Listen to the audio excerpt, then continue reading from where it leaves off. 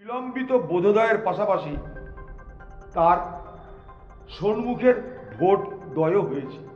বিলম্বিত বোধোদয়, সন্মুখের ভোটোদয় দুটোই তার হয়েছে। ইতিহাসে কৃষক আন্দোলনের এই জয় সব থেকে বড় কৃষকের জয় বলে চিহ্নিত হবে। শুধু কৃষি আইন প্রত্যাহার করলেই হবে না।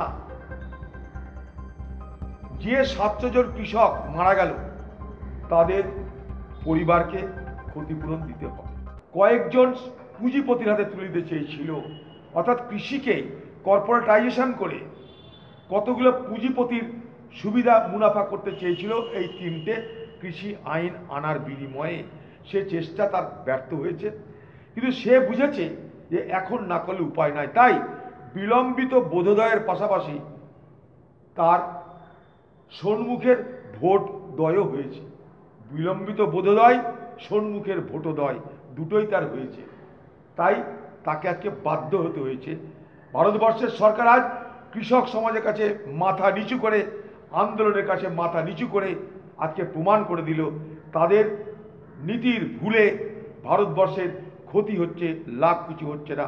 তাই কথাই বলে বাংলায়, গাধা তো জল খায়, কিন্তু সেই জলটা গুলিয়ে খায়। আজকে মোদির মোদির এই আইন প্রত্যাহারের মধ্য দিয়ে সেই বাংলার প্রবাদ বাক্যটা আরেকবার প্রতিষ্ঠিত হলো।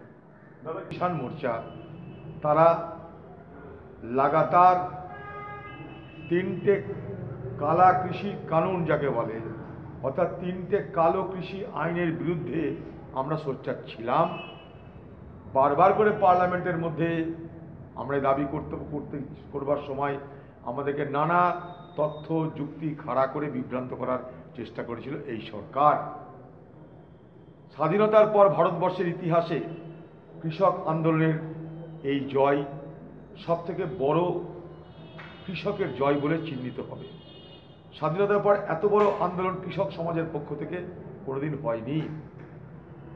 তাই কৃষকের এই জয় অভিনন্দনযোগ্য। কৃষক মারা গেল এই আন্দোলন করতে করতে, অর্থাৎ আন্দোলনরত অবস্থায়।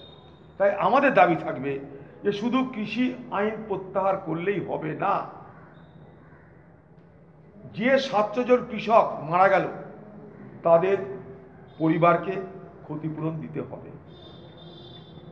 আমাদের কৃষক সমাজের প্রতি সম্পূর্ণ সমর্থন রেখে কৃষক সমাজের সিদ্ধান্তকে আমরা সবসময় সদর্থকভাবে গ্রহণ করতে থাকব।